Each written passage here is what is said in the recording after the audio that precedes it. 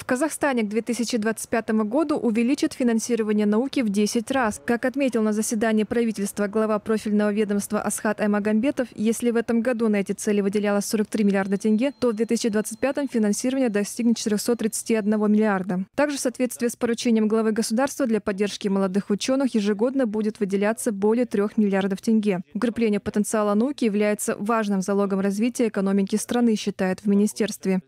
Бұның алдында грант конкурстары үш жылда бір рет өткізілсе келесі жылдан бастап жыл сайын Если ранее конкурсы на гранты проводились один раз в три года, то со следующего года будет проводиться ежегодно. Это хорошая новость и реальная поддержка для ученых. Для укрепления материально-технической базы научных институтов будет создана отдельная бюджетная программа. Мы эту работу уже начали. По модернизации и цифровизации научной инфраструктуры будут проработаны вопросы развития цифровых навыков ученых. цифрландыру бойынша ғалымдардың цифрлық дағдыларын дамыту бағдарламалары іске асырылады